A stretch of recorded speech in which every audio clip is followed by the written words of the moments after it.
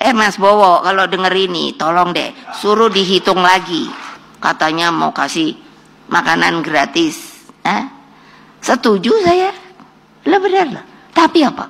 Saya hitung lah, saya juga tukang masak kok. Ibu saya tuh orang Sumatera, Bengkulu. Jadi tradisi apa? Putri pertama harus pintar masak, alhamdulillah. Dia tuh cerewet banget, makanya lu jadi masuk penjara, tahu? Gue bilang. Gara-gara, jadi kalau ketemu saya sampai hari ini kan ngikut di partai. Kalau ketemu saya, ibu, gitu saya itu sebelum karena saya selalu kalau dulu langsung gini. Dan juga apa sih nggak ada deh yang bakal abadi aduh iya. Lah saya aja juga pensiun jadi presiden. Sekarang masih keren ini katanya udah diminta oleh seluruh ini uh, anggota partai secara aklamasi kalau ada kan nanti apa kongres ibu mesti jadi lagi enak aja emangnya Eh Mas Bowo, kalau denger ini, tolong deh, suruh dihitung lagi. Katanya. Duh, ibu kepo amat ya kan sama programnya Pak Prabowo.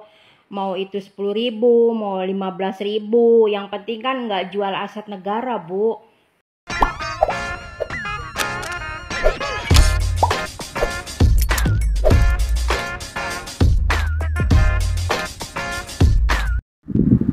Baik sahabat sekalian, jumpa lagi bersama saya di channel ini di mana pada kesempatan video kali ini saya akan mencoba mereaksi beberapa buah video terkait informasi politik tanah air. Dan untuk kali ini masih datangnya dari Partai PD Perjuangan dan teristimewa untuk Ketua Umum Partai PD Perjuangan ya. Siapa lagi kalau bukan Megawati Soekarno Putri. Dalam video ini saya akan coba mereaksi beberapa video yaitu terkait dengan tanggapan dari para netizen atas kritikan yang diberikan oleh Megawati Soekarno Putri terhadap program kerja dari Presiden Prabowo Subianto dan juga wakilnya eh, Gibran Raka Buming Raka yaitu pemberian makan siang gratis untuk anak sekolah tentunya. Dan terkait hal uh, pemberian makan siang gratis ini dengan budget yang kurang lebih 10.000 kalau tidak salah itu nilai sebuah nilai yang dikritisi oleh seorang Megawati Soekarno Putri. Menurutnya bahwa Presiden Prabowo Subianto harus betul-betul menghitung secara jeli agar program ini jangan sampai mubasir atau justru merugikan diri sendiri. Seperti apa komentar pedas dari Megawati terkait program makan siang gratis ini dan seperti apa pula tanggapan atau reaksi dari para netizen atas kritikan Megawati Soekarno Putri? Mari kita ikuti video-videonya. Dan juga apa sih? Nggak ada deh yang bakal abadi aduh iya nah, saya aja juga pensiun jadi presiden sekarang masih keren ini katanya udah diminta oleh seluruh ini uh, anggota partai. Secara aklamasi kalau ada kan nanti apa? Kongres. Ibu mesti jadi lagi enak aja emangnya. Gua nggak boleh pensiun. Aku nah, bilang gitu? Ini biar kedengeran. Kenapa? Karena aku juga udah ada nih berita. Nanti di kongres karena sekarang kurang bisa berhasil, katanya di kongres juga mau diawut-awut. Saya sengaja nih supaya pada kedengeran dah. Coba kamu mau awut-awut partai saya. Joya yang keren apa sih ya tepuk tangannya berarti kalian nggak simpati sama saya tahu nggak yeah. setengah hati atau ada juga barangkali di sini eh, dua kaki. Jongguyu ya kalau berdua ini udah tahu tabiatku. Jadi bukan sebagai hanya Megawati Soekarno Putri tapi saya berbicara sebagai anak bangsa yang telah ikut tuh berdarah-darah tahu? Kalian belum ngerasain. Berdarah-darah. Ah udah ah soalnya nanti bikin nangis.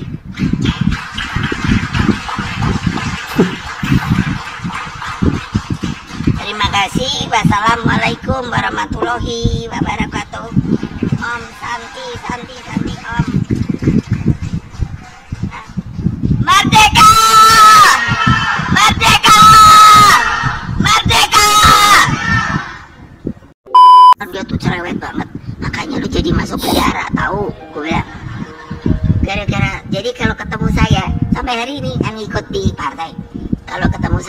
ibu gitu saya itu sebelum karena saya selalu kalau dulu langsung gini. Saya suruh pakai selotek supaya jangan banyak ngomong gitu. Terus kalau sekarang kebiasaan jadi kalau melihat saya langsung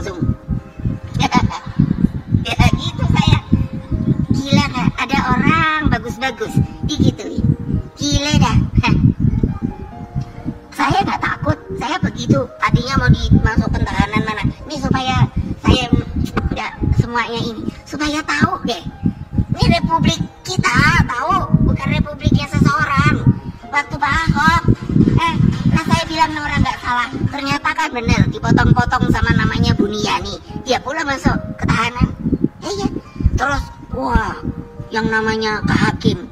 Terus suruh masuknya ke situ Pak Ngediku Cipinang saya diem-diem ngikutin tuh. Mana ada Pak? Tadi Pak Jarot. Mana dia nah yang saya perintahkan kan terus diikutin nah digebukin sama kriminal ini si Ahok. Jadi masuk 5 menit udah gitu diem-diem suruh jalan belakang eh. Ini taruh aku minta di polisi.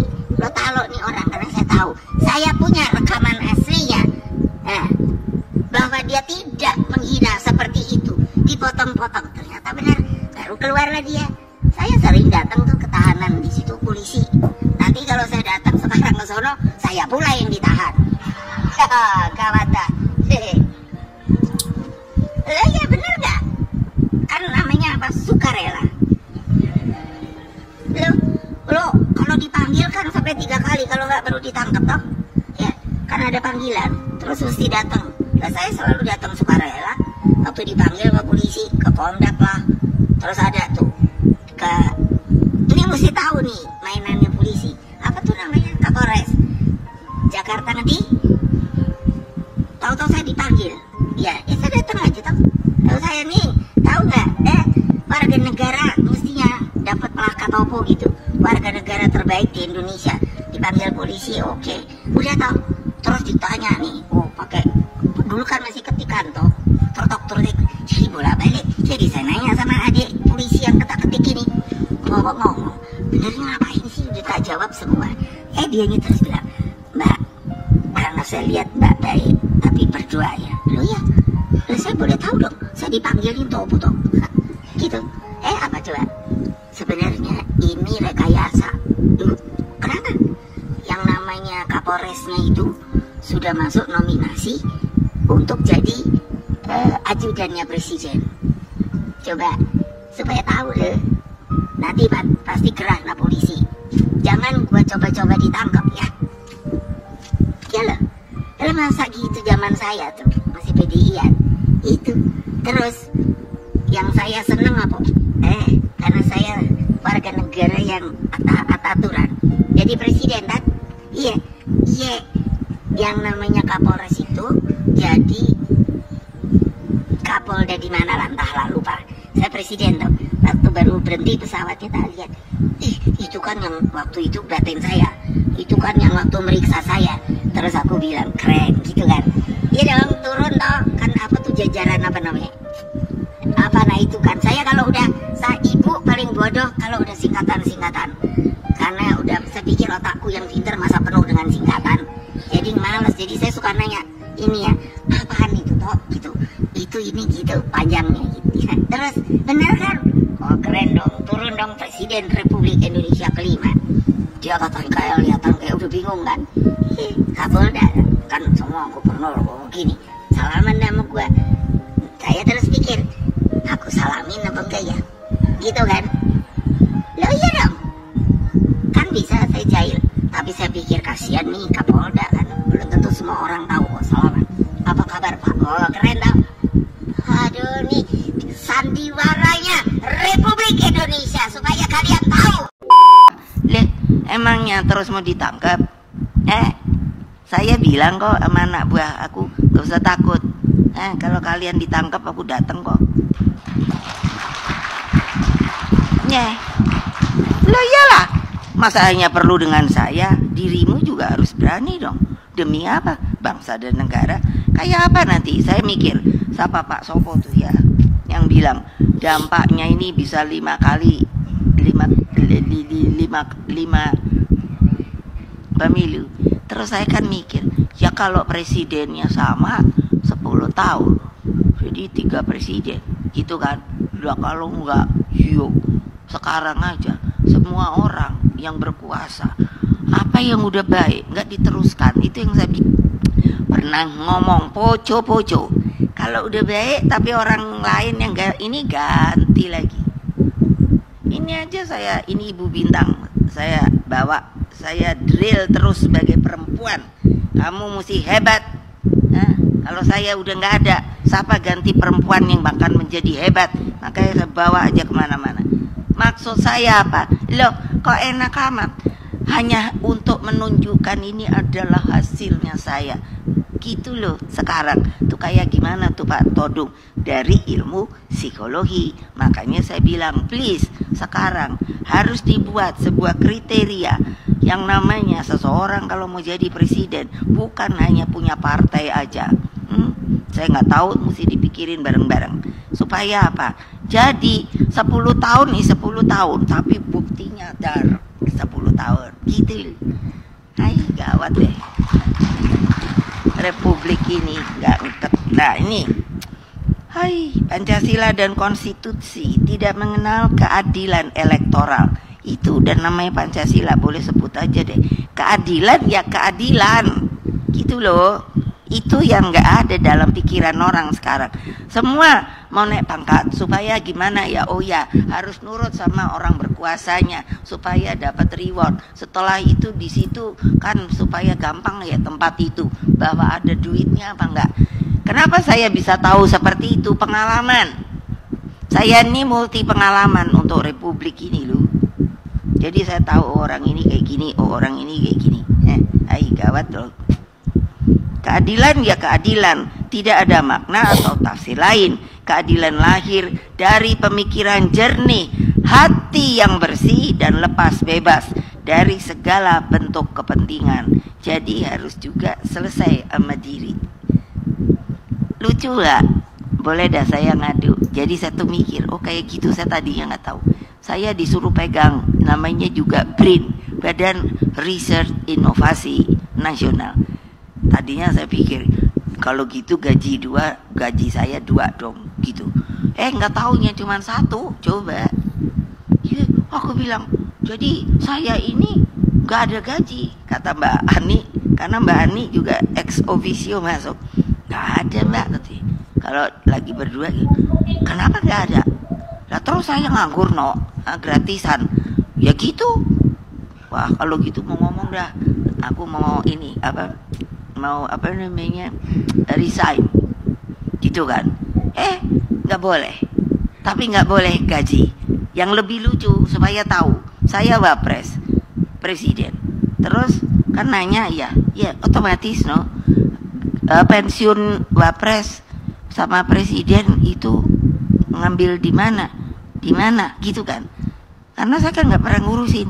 Terus dari seknek ibu ibu harus milih. Maksudnya? Iya karena pensiun tuh satu. Loh jadi saya selama wapres itu lo terserah ibu mau yang mana. Ya saya juga mikir dong. Eh nggak taunya antara wapres sama pensiun presiden bedanya cuma sauplek nah lo jangan ketawa lo biar tahu kalau jadi presiden. Eh dipikir enak. Eh bener gak Terus. Gaya. Ibu nanti bukan saya aja semua presiden. Nah kayak sekarang. Lucu lagi supaya tahu tahu nggak? Bapak saya Hah? presiden pertama Republik Indonesia pahlawan nasional proklamator. Bapak bangsa. Nggak punya rumah tahu nggak? Rumah dari pemerintah. Ini lagi diurus nih. Aku bilang gile deh Indonesia nih. Hah? keren tau. Jadi nggak punya jadi kan saya lagi mesti ngurus lagi. Udah gitu bu ya kasihin aja gitu. Ini juga presiden gitu. Ah gitu aja ngurus aja. Segala semua jadi birokrasi itu mungkin panjangnya berapa kilometer. Eh Mas Bowo kalau denger ini tolong deh suruh dihitung lagi. Katanya mau kasih makanan gratis. Eh? setuju saya? Lah benar lah. Tapi apa saya hitung lah saya juga tukang masak kok. Ibu saya tuh orang Sumatera Bengkulu. Jadi tradisi apa? Putri pertama harus pintar masak alhamdulillah. Ku hitung kan sepuluh ribu tuh iya apa yo? Apalagi sekarang orang nak apa harga naik.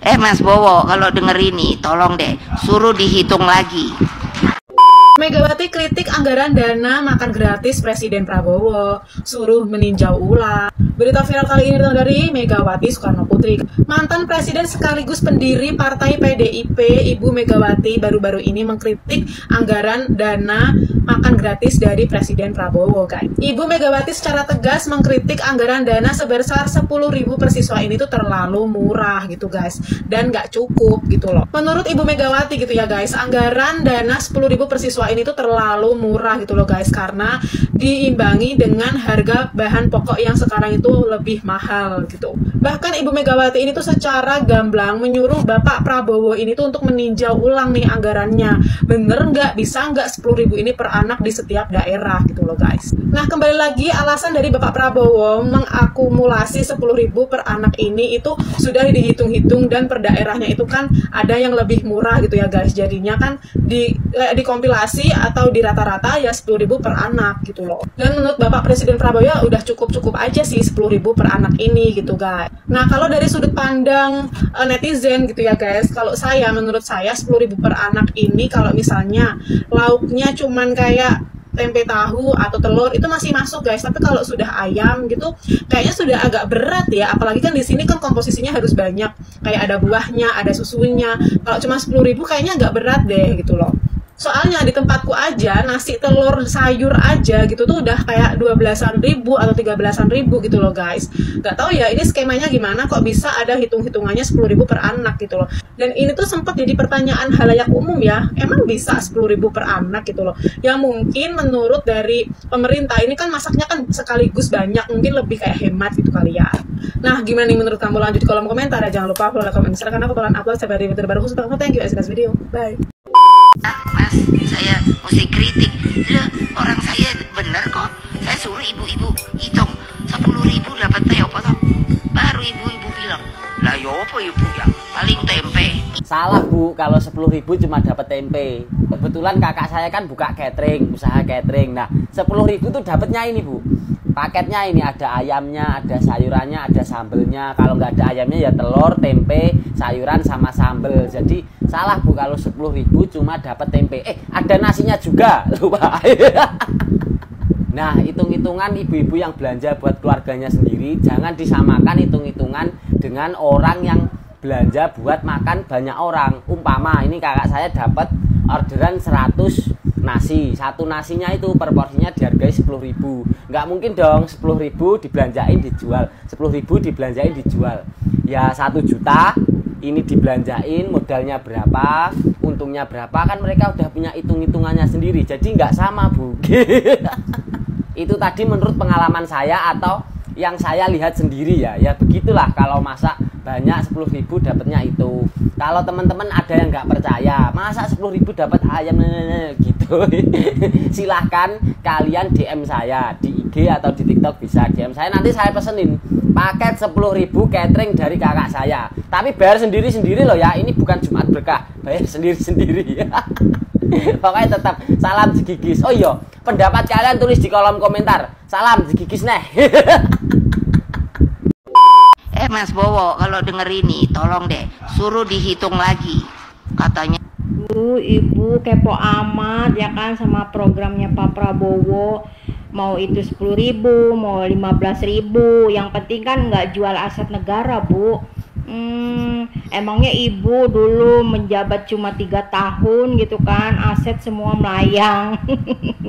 Udah bu, nggak usah ngurusin apa namanya program Pak Prabowo, urusin aja para kader-kader ibu, anak buah ibu, supaya tidak korupsi lagi. Karena apa? Sekarang lagi marak-maraknya, ya kan? Pak Prabowo lagi membasmi tuh para koruptor.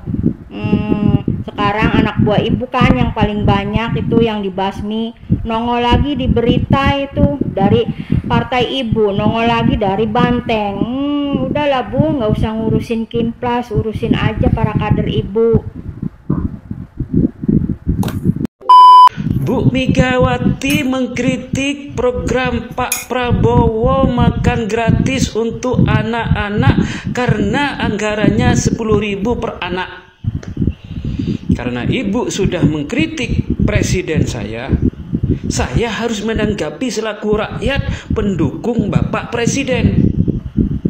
Yang pertama, program ini Bu masih langkah awal biarkan dulu, jangan dikritik. Biarkan dulu berjalan, setelah itu diadakan evaluasi. Apanya yang kurang, ayo diberikan masukan. Seperti itu, Bu. Yang kedua, ini adalah rizki dari Allah lewat program Bapak Prabowo untuk anak-anak Indonesia. Harus disyukuri meskipun 10 ribu. Meskipun sedikit harus kita syukuri daripada tidak ada. La in syakartum la azidannakum wa la in kafartum inna adzabi lasyadid. Sedikit apa pun rezeki yang Allah berikan kepada kita, ayo kita syukuri, maka Allah akan menambahnya. Tapi kalau kita kufur, maka Allah akan mengadabnya.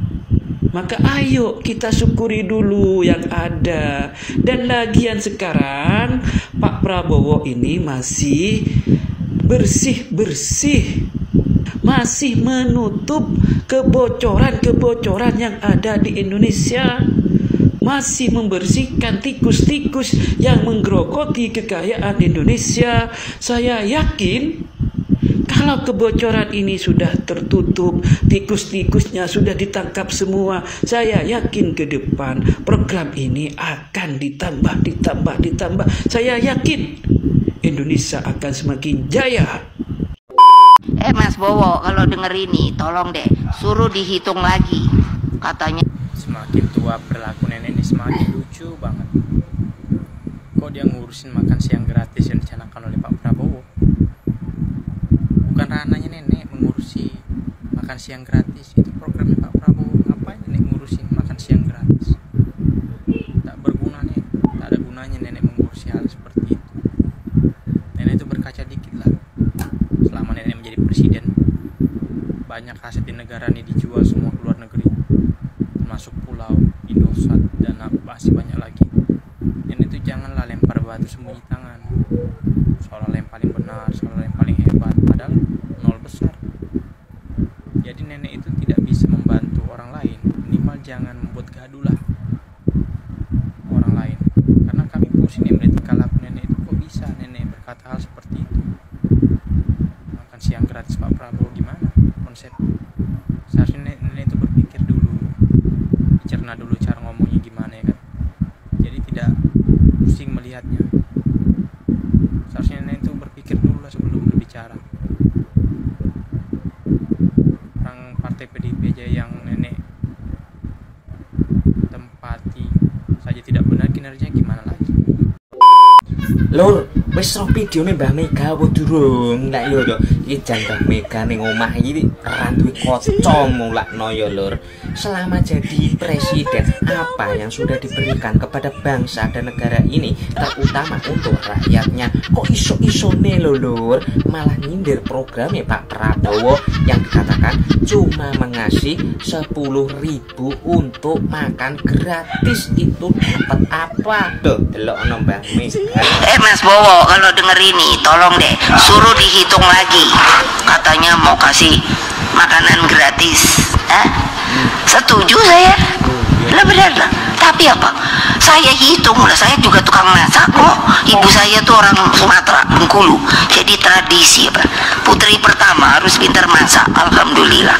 Ku hitung kan sepuluh ribu tuh. Iya. Apa yo? Apalagi sekarang harang na- apa harga naik.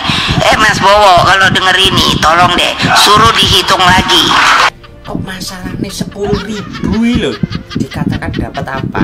Nenggonku ya mbah mega iki sepuluh hewi oleh sego pecel ono endoke ije oleh teh anget kuwi oleh yo lah sampean iki dadi presiden iki ndek ben iki mene nyopo? Eh nek ora Indosat didol karo pulo wi kejual mesti padha ngerti wi bolo-bolo lan sedulurku cen umur sedulur iki lucu-lucune gedang tobat tapi sejadah dan sholat deket-deket maring gustine rasa kakek rasan-rasan besok tak tukokne kaca pisan ben iso sadar diri sadar posisi Guys, coba perhatikan kritik Megawati terhadap program makan siang yang diluncurkan oleh Pak Prabowo. Itu kan sepuluh ribu toh. Iya, apa yo? Apalagi sekarang orang nak apa harga naik. Eh Mas Bowo, kalau denger ini Bu Mega, Bu Mega, kenapa pas begitu jadi oposisi tiba-tiba jadi kritis banget mengkritik eh, upaya pemerintah terhadap program-program yang sedang dijalani? Kemarin-kemarin ke mana aja? Tapi bagus. Saya acungi dua jempol atas kritik terhadap kebijakan pemerintah karena memang pemerintah itu butuh ya kritikan dari masyarakat bahkan dari partai oposisi. Bagus banget ini sangat aktif sekali Bu Megawati. Tapi mudah-mudahan ini juga ke depannya kalau misalkan nanti Bu Mega dengan partainya kepilih lagi di pemerintahan, semoga nanti juga bisa menjadi banteng seutuhnya yang seperti sekarang ini. Tapi BTW, siapa yang baju merah? Loh, Setuju Mbak Wati, Mas Wowo itu kayaknya harus belajar ngitung lagi deh. 10.000 itu Mas Wowo hanya cukup buat beli nasi, lauk pauk dan sayur. Dan cuma cukup buat beli susu Mas Wowo. Lah buat kami ini, eh saya ini Mas Wowo, pejabat yang suka korup. Mana bagiannya? Jatahnya mana? Yuk dipikirkan itu. Itu Pak, kata-kata orang yang nggak suka sama Bapak kalau untuk Bu Megawati ya Pak ya mungkin nggak nggak cukup Pak. Lah Bu Mega itu Pak masaknya Pak setik waju A5 Pak. Ya jelas nggak cukup kalau sepuluh ribu Pak. Udah Pak. Di skip aja Pak. Semangat Mas Wowo. Mas Gibran lanjutkan makan siang gratis. Anak saya sudah mau sekolah Pak. Tolong Pak makannya Pak. Terima kasih Pak. Ini hari ini saya diundang tumben sama si Bahlil. Yo kan uh, UTN apa? Uh, Golkar. Terus saya suruh sopo yo? Eh, tadi si, si, bukan situ toh. Yang saya suruh ke sana siapa ya? Eh? Oh Pak Utut. Eh, eh, eh, apa eh, eh, ketua fraksi. Terus aku tuh mikir, aku bilang Mas toh. Eh, aku diundang ke Golkar. Terus engkau aku muram opo cengar cengir yo. Nah iya dong. Karena aku dimusuhin sak jagat dewa petara. Sekarang diundang, bingung aku. Iya jadi kata so udah deh bu, ini aja deh apa apa namanya uh, delegasikan gitu. Uh, terus siapa ibu mau delegasikan? Nanti kalau terlalu bawah dibilang enggak ini, kayak enggak apa ya sebagai tamu enggak enggak apa enggak hormat kalau ketinggian nanti dipikir udah mau gabung lagi. Keren nggak? Iye ayo jangan diem Pak Mahfud. Ah, kasih gitu dua jempol gitu loh. Skandal judul yang viral ternyata ngelibatin salah satu ketum partai. Mau tahu kagak siapa? Uh, Zulkarnain Aprilianto, Adhi Gismanto, dan Alvin merupakan keponakan Ibu Megawati Soekarno Putri. Wah, ternyata ada sosok Ibu Megawati di balik para oknum tersebut. Adhi diketahui bertugas mengelola mesin crawling situs judol, sementara Tony dan Alvin merupakan penerima bayaran dari bandar judi online untuk menyalurkan dana tersebut ke komunitas digital PDIP Komdigi. Tony sebagai penggerak buzzer PDIP memainkan peran penting dalam membangun narasi politik, baik saat pilpres maupun pilkada, termasuk pilkada Jakarta. Dari pilkada Jakarta, keterlibatan mereka semakin terlihat sebagai pendukung pasangan calon Prabowo Rano. Bahkan Rano juga pernah terlihat foto dan makan bersama. Fakta-fakta sudah semakin terlihat spekulasi dana ilegal dalam kampanye. Buat warga Jakarta, kalian harus hati-hati Jangan bikin banter berkuasa. Ingat, pilih wakil rakyat yang memikirkan. PDIP ini makin lama makin lucu ya. Jadi ada salah satu kadernya gitu yang bilang bahwa penangkapan keponakan Bu Megawati, penangkapan karena kasus judi online itu adalah politisasi sebelum pilkada. Pertanyaannya saya balik. Lalu bagaimana dengan Hasto dan Koni yang datang podcast Akbar Faisal tanpa babi bilang bahwa mereka mau dikriminalisasi dan Pak Jokowi adalah dalang kriminalisasi dari Pak Anies Rashid Baswedan. Coba kalian berpikir dulu deh sebelum berbicara seperti itu. Dan yang anehnya adalah kenapa kalian agak kepanasan gitu loh. Padahal kan yang salah bukan Bu Ketum, tapi ponakannya ya udah selesai gitu loh. Dan selama tidak ada dana masuk aliran gitu ya ke PDIP maupun ke paslon-paslon di pilkada ini ya sudah selesai. Apa yang kalian takutkan? Kalian kemarin getol banget nyuruh-nyuruh orang buat meriksa ini, meriksa itu, bahkan mengeluarkan fitnah ya kalau saya bisa bilang karena kan sampai hari ini belum terbukti katanya dalang dari Pak Anies dikriminalisasi Formula itu Pak Jokowi kalian bilang semua penangkapan PDIP ini politisasi kriminalisasi itu gimana apa landasan berpikirnya itu aja ya terima kasih Halo sedulur, piye kabare? Wis roh videone Mbah Mega burung sing marah-marah ya terkait Pak Sulipi. Yo wis rasa kesuwen aku tak madang sik sampean nonton Mbah Mega. Yo do aku tak melu ngrungokno do nobar Mbah Mega lucu-lucune iki. Jal puterae suwen no. Saya ini sampai bingung. Apa? Lah saya iki apa yuk salah kan gitu toh sebagai manusia biasa.